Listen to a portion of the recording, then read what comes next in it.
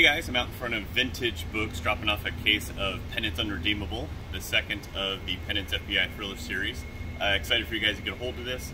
I just let you know, Vintage Books is one of the last independent freestanding bookstores in the entire city of Vancouver. Uh, it's nuts. You used to be able to uh, have them all over the place. Um, so I like to come out, I like to support the local bookshops, uh, keep them going, keep them alive.